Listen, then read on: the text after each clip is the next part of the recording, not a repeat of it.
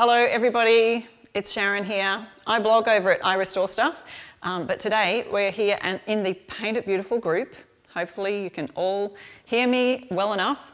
Um, Jenny Lynn is, usually does a Q&A. She's not able to be joining me today, but she said, Sharon, just go for it. So here I am going for it. Uh, so we're going to be talking about Ultra Grip today. I've brought my little list so I can make sure I've got everything. But before I do that, while we're just waiting for some people to jump onto the live, I'm going to share this on my own page. So let me just check it here, that make sure it's all live. So what, while I'm doing this, why don't you, if you know someone who wants to learn about Fusion Mineral Paint, um, learn about Ultra Grip, then just go ahead and share the live. So just hit the little share button. Let me just find my page. I restore stuff, so if you wanted to um, jump over to your page or your group, are you showing them exactly how I do this? I'm just going to post. There we go. And I'm going to share it to my group. So while you're here, let me know where you're tuning in from. Are you from Canada? Are you from the USA? I'm from Australia. So if there's any Australians out there today, um, let me know where you're from. Love to hear from you. So just going to chat, change this to my group, sharing the live in there. We've got a few people joining in now. So that's great. I can do without my phone now. I'll just pop it aside. All right, so we're going to be working on this little piece here. As I said, if you're just tuned in, I'm Sharon and I blog over at I Restore Stuff. Um, I've got some help here today from my daughter Amber who's going to be watching your comments. If you've got questions while we're doing the live, please let me know. But I heard that we are celebrating here on Paint It, in Paint It Beautiful Group over 30,000 group members. That is awesome. So I heard also, and you may have seen a post yesterday, that tomorrow there's going to be a huge giveaway, like one of the biggest giveaways that Paint It Beautiful has ever done. And Jenny Lynn is going to be posting about that tomorrow. So let me just say that you will want to be starting to paint something beautiful in Fusion Mineral Paint to get ready to enter the giveaway. So stay tuned for that. That'll be coming up in a post. I'm sure they'll pin it to the top of the page tomorrow. So let's talk about prep, prepping your piece. Now, Fusion has already given us this beautiful prep guide that you will find, and Amber's just going to look for that prep guide and put that link. You can actually find and download your own prep guide to give you a bit of an idea when we use Ultra Grip. Now, maybe you haven't heard of Ultra Grip before, maybe you use it all the time, but I'm here to let you know you don't have to use it on every piece. It's not something that you, because because blah, blah, Fusion is really, like the name suggests, fuses to your pieces really well without the use of Ultra Grip on most cases. But as you see our card shows us that we have something that's laminate or glass or metal or plastic, we can use Ultra Grip to help it adhere to the surface. Now, there's a couple of other times that I might use Ultra Grip, and one of them is uh, for a piece like this that is actually quite a shiny, shiny surface. I've just started sanding a little bit here just to get degloss it, I guess you would say. But here you can see it's quite shiny. Um, the other example I was going to show you is this piece of furniture that's actually laminate on top. Now you can see that's quite grungy on the top there. I've just literally grabbed this out. It was going to be in our throwaway pile. Um, but to clean that up, it's got sticky tape marks here, all sorts of things. So to clean that up and to clean any of your pieces, what I would do first and what our prep guide suggests is using TSP. Fusion's TSP comes in this little bottle. It's phosphate-free organic degreaser. You only need, and I've got about 500 mils in here, you need about two capfuls per litre. So all I'm going to do is one capful, because I've only got 500 mils of, I think, seriously, it's a guess. Swish that around. That's all you need to clean and prep your piece down. So just grab yourself a cloth. Hey, Amber. Have we got some people telling us where they're coming from today or where they're looking from? So you can see that we can just degrease yes, the laminate. Got Carrie from the USA, Sarah from WA, we've got people from SC, I don't know where that is. South Carolina? South Carolina. Yeah, we've got um, family Ohio in South Carolina. And Bulimba. And Bulimba. so we've got people from Australia, Queensland. All right, so I'm going to do that as well. I've got TSP on this cloth. You want to get rid of any grunge, grease and grime that's going to be on your piece first of all. Can see I'll need to dry that. But I've also removed the handles from my piece. You never know what kind of grease and grime might get underneath your handles as well on your drawers.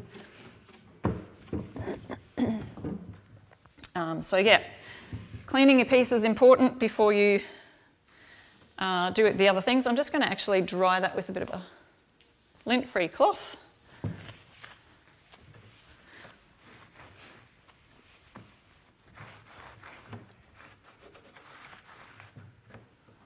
All right, if you've just tuned in, I'm Sharon.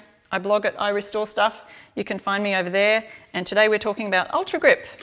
So, excuse me, I'm just going to um, put a little bit in a dish.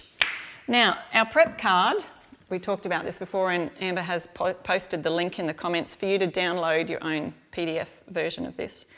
Um, but it says if you're using a glass or a laminate or a metal or plastic, or in this case, very shiny, glossy surface, um, you can use roll the Ultra Grip on with a really thin coat using a microfiber roller. So I do have a microfiber roller here that I can show you. These are the microfiber ones, and just make sure you kind of pull off any little bits of fluff that might be on there.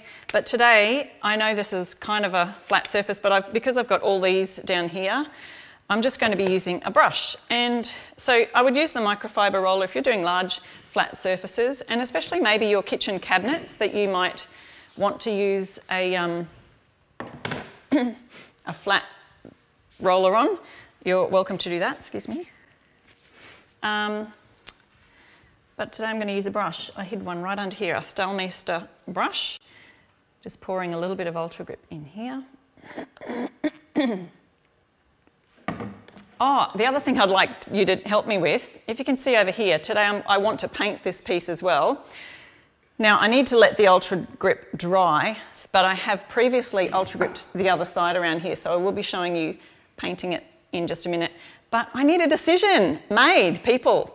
So if you can help me decide, I'd like to go a darker colour. I've got a few colours here to choose from. So let me know in the comments what you would choose. We've got Midnight Blue, Bayberry, Ash, which is a gorgeous dark grey, and Seaside. So if you can let me know in the comments, what colour should I paint this piece? That would be helpful because I'm very indecisive at the best of times. So need a little help on that. What else was I going to mention? Oh, the other thing is, so because the reason I'm going with a dark colour here is because this is such a dark wood. It's also bordering on slightly reddish tones, mahogany tones. So let's talk a little bit, I don't know if you've got any comments there yet, but talk a little bit maybe about a piece that you might be a little bit worried that it's going to bleed through your paint. If it's a light colour, especially those that bleed through, the tannins in the wood can bleed through and cause your white or light colours to look either pinkish or yellowish depending on the, the tones, the tannins or the stain that might be on the piece coming through. So one of the only things that I have found and many of you have found that will help that and stop and block the bleed through is this Zinsser BIN, primer sealer, stain blocker. Make sure it does say stain blocker on it. Um, I do use the white version if I'm using a dark piece because I also feel like it, if I'm going from a dark to light, I mean, I'll use the white version. It's a shellac based uh, sealer and that will seal any tannins. Sometimes you'll get wood knots that will bleed through. So I use the white because then I'm transitioning to that lighter colour and I actually save on some of my nice fusion paint. So I just wanted to show you this example here where I have actually used a white colour and this was quite the same tones as this here and very, very shiny, shiny lacquer. So just to be sure, I added a bit of Ultra Grip because, here's my other reasoning, I thought that if I sanded too much to get that grip on the surface, it may actually allow some of that stain to come through and therefore if I go white, it's going to allow that bleed through to happen. So instead of sanding a lot to perhaps make that happen, I decided to do Ultra Grip instead, and then I've painted with white over the top. Now I've got about three coats of the white on there, And you can see clearly that it does need an extra coat. You can still see some shady shadowing in there. Uh, this is the Fusion Mineral Paint Colour Casement. So that's one of our whiter whites. Uh, so that's all I was going to tell you about that. I have done this on another project that had very similar, and you can maybe um, pop that up on the video screen. Thanks, Eric. I've got Eric helping me switch the cameras and the video. There's a dresser there that's similar to this colour. I want to show you the before of my dresser that I did with this. That's the before right there. and then afterwards, when I've fully, I used Ultra Grip on that because it had a very, very slick surface as well. And so afterwards, I've painted that in midnight blue. So there's the difference, such a difference in that, um, in that makeover because I went to a darker colour because it was just a lot easier. And the, the midnight and the darker colours, some of the darker colours really, just such excellent coverage. That was probably two coats of the midnight blue. Probably only needed one, but I always do two just for extra. Thanks for that. And um, Amber, you've got a link for that blog post in the comments. Have you got a question there from uh, somebody? Uh, no, but there's a lot of people saying seaside, so I think that's your winner. Seaside. Okay, people are saying seaside. Well, that's going to be our winner for today for painting. That's great. Decision made. Okay, so I've got my Ultra Grip in here. I also wanted to show you too that um, if, you're, if you're using Miss Mustard Seeds milk paint products as well, milk paint comes with a bonding agent, and these are actually one and the same product but used for different purposes. So, with the milk paint, it's a powdered form, and the milk paint is mixed in with the bonding agent to add extra grip to your milk paint. And the fusion, we use this as an undercoating on our pieces and then paint over the top of it. So I just wanted to mention that little difference there. But if you've run out of one, you can use the other. Top tip right there. So I'm going to be using my brush today and you can see I've kind of scratched up this surface. I'm not going to bother worrying about sanding this because we've got the ultra grip happening. So we, I just wanted to show you how, really how thin you need to use it. Actually, I've looked like I've gotten on a bit too thick there. Now this will dry absolutely clear.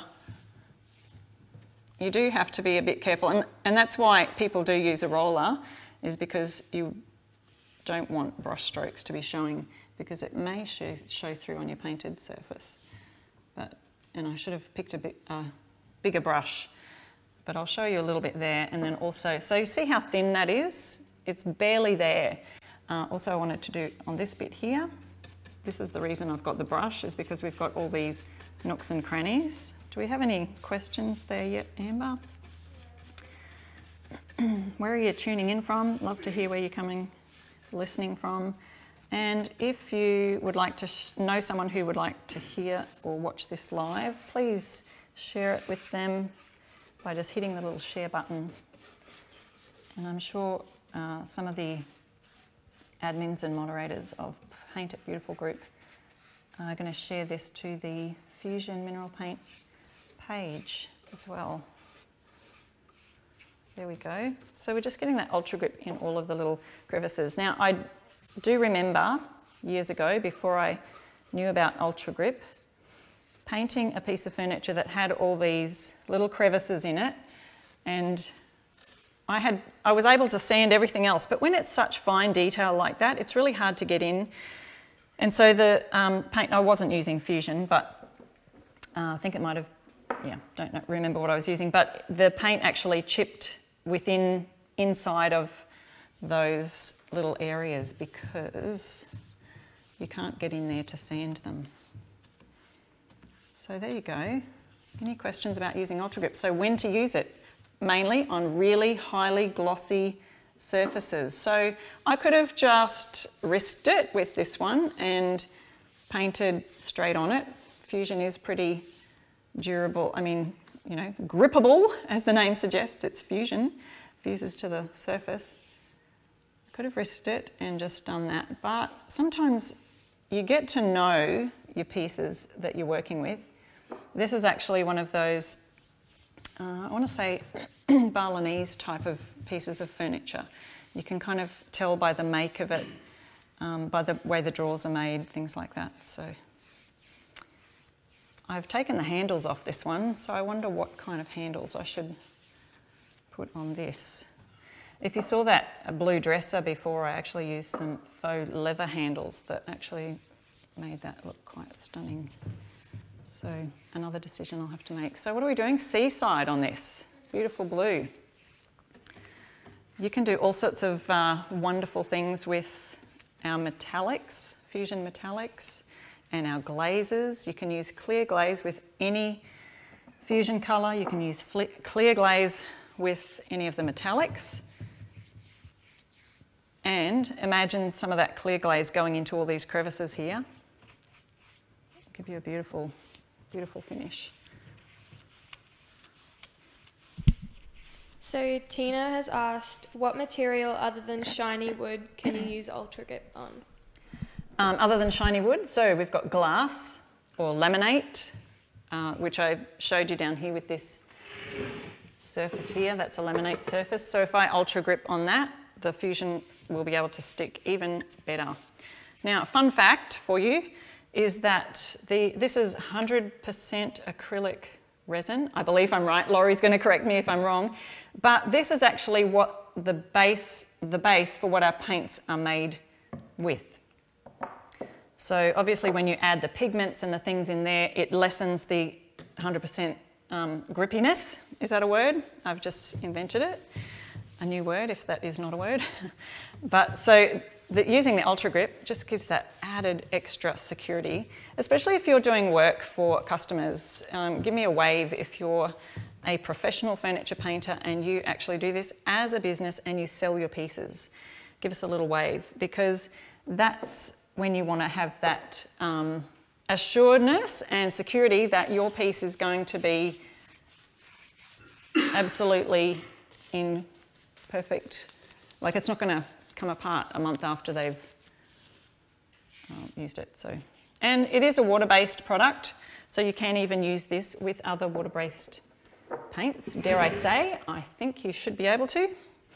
All right, so that's a little bit about Ultra Grip. I'm just going to leave that for now, and let's get painting on this seaside because I want you to see the beautiful coverage that we have with Fusion. Oh, I didn't talk about or mention too that if you're painting Fusion on raw wood, raw, just my raw wood example here. if you're using Fusion on raw wood, it just soaks straight into the timber. There's no way that you need any Ultra Grip or anything else for things like that. And like I said, please, you don't have to use Ultra Grip on every piece of furniture that you're going to be painting. Um,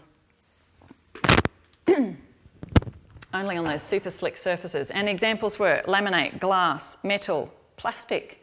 So you can paint on those things by just adding that Ultra Grip as a layer underneath. You can see that that's drying super quickly. I painted this area first, moving that way. And so it's drying already. So Mia's wanting to know how long you should wait before going over Ultra Grip. Okay, very good question.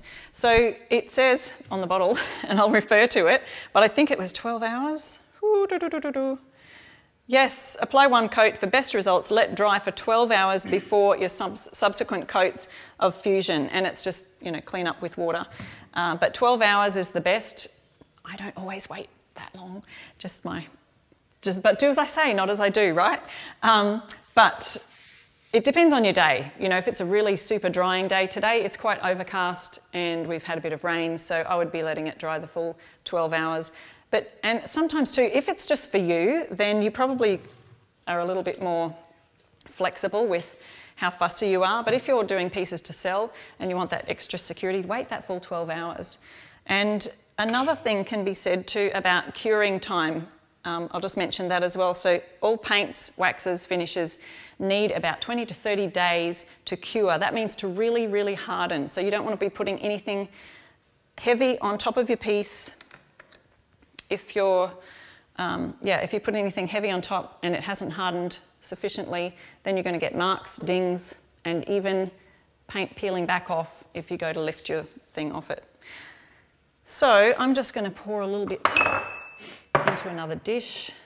I've shaken up my jar to just make sure all the pigments are well, what do you call it, distributed, finding the right words. And this, you can actually feel the difference. When I've got Ultra Grip on there, it definitely feels different than the slick, shiny surface. I don't know if you can really see that on the camera, but the slick, shiny surface here versus this is sort of a dull matte finish, I would call it now. All ready to go with our seaside. Thanks for choosing that colour, guys. You're awesome. Lovely, beautiful colour here. I'm using our Staalmeester brush. This is number 20. It's nice wide brush for nice flat surfaces. But look at that exceptional coverage there. Just beautiful. And these Staalmeester brushes are almost self-cleaning if you haven't tried them. I use these and the Cling On brushes and both excellent for self-cleaning. What does that mean? It means you suspend the brush in something like this and these, these tubs come with a lid that's got a hole in it, which I don't have here right now, it's somewhere else. But you just suspend the brush up to about here. So this is the ferrule. So you want to suspend your brush up to about here in the water. It washes or rinses, rinse it out first is what I would do if I've got paint on my brush. Rinse it out just slightly, then sit your brush just above and in the water and all the paint literally drops away from the brush within about an hour or so. And then I just rinse out the water again, put them in for another hour, and until it comes out clean. Look at that. Now, obviously, when you're painting, a lot of you may already know this, but the colour won't be a true, true colour until you've let it dry. So some of the colours, the pigments actually look a little bit darker. We could talk about all sorts of things we're learning today. So the angle of your brush. So 45 degree angle is usually what I learn, what I do. It, it sometimes is even easier to lay a piece on its side. Does anyone do that? Lay a piece on its side and so then you're going like this instead of up and down like I'm trying to do here. But we're live people and we've got to do these things. So, um, but there's a tip right there. So see how the angle is about a 45 degree angle and we're laying the paint on. We're not pushing it on because if I'm pushing, I'm squishing and I'm actually creating more brush strokes and more lines. And a lot of these little tips I learnt from the pros, Jenny Lynn and Laurie themselves, the wonderful owners of Fusion Mineral Paint. And I want to thank them so much for letting me do a live here today, just for you. So who's liking that colour so far? Are we happy we've chosen Seaside? Is that what we did? Seaside, yes. Amber, any more questions over there? Yeah, so Kim wants to know, can you use Ultra Grip on laminate? Yes, you can. So melamine or laminate, um, like this little, this is a lemon. Is this laminate? I'm asking Marty, my camera guy, my husband, and he's got a thumbs up. Yes, that's laminate. I'm pretty sure it was. I think maybe in the States, melamine and laminate are kind of the same thing? I don't know. Don't know. Anything that's slippery or shiny surfaces, glossy. Wow. And okay. can it be applied with a sponge? Yes, you can apply it with a sponge and you may get a even smoother surface with that. So here I am, I've got to do my little bits in here. Now I could probably switch brushes for this, but I'm just going to have a go with this. so if there's any, any more questions, please pop them in the comments and either I'll answer them now or Laurie or Jenny Lynn will get back and or some of the awesome moderators, admins here on the pro, I mean on the Paint It Beautiful group will answer your lovely questions. That's just got such great coverage. I mean, I can't see any wood there. Usually I, I just can't help myself. I'll go over a second coat once this is completely dried. Um, and the other key is don't keep going over and over. Once you've painted, let it go. So this part that I painted first here is probably starting to dry already. So I don't want to go over that again. Hopefully you're seeing all of that. I've got right in the grooves there. So you can imagine when this is all dried, uh, and I'll have to have to do a blog post about this one now because when that's all dried, I'm really tempted to put some kind of glaze in here. So if you mix a clear glaze with say a dark ash or black even, how great that would look and really show up all those nice details. Or a metallic. Suggest some colours that I could do the glaze there, people. That'd be great. Help with my decisions. but I'll obviously have to do that another day. But right here, after we've finished our live, I'd love for you to join me over on my I Restore Stuff page, and I'll be painting over there as well and finishing off this piece on my page. And I want to encourage all of my viewers to jump over here on Paint It Beautiful and enter that competition because if you weren't here earlier, I mentioned something really awesome coming up tomorrow. So please stay tuned. You will want to want to listen or take a note of the competition. It's one of Paint It Beautiful's biggest giveaways to date. And tomorrow, Jenny Lynn will be putting a post up of what the prize is and how to enter. But you'll be wanting to do some beautiful pieces. And I'm going to continue with this now. Is there any more questions, Amber, before we go? Yeah, what type of brush is best for the ornate section? Oh, that ornate section. You can use some of the, there's actually a pointed um, bristle brush that would have been great for getting into some of those ornate details. So you can see that there. They come in a few different sizes, so check with your Fusion retailers because they will um, have a lot of those different sizes in stock. Amber, if you would mind also, we're going to put in the comments if you want to know where you can buy Fusion, where you can buy Ultra Grip, any of the products, the Staalmeester brushes, we'll pop that where to buy link in the comments there and you can find your nearest Fusion retailer. We have Fusion retailers all over the world, in the UK, Europe, um, right here in Australia. And so I'm going to continue this in about five minutes or so when I get a bit more organised over on my I Restore Stuff page. So if you want to jump over there, you can finish watching me paint and blab on a bit more about Ultra Grip and what we've been learning here in Paint It Beautiful group. So thanks so much for joining me and we'll see you here tomorrow for that giveaway entry and um, thanks so much for joining me. I'm Sharon from I Restore Stuff. Thanks for watching here on Paint It Beautiful. Bye.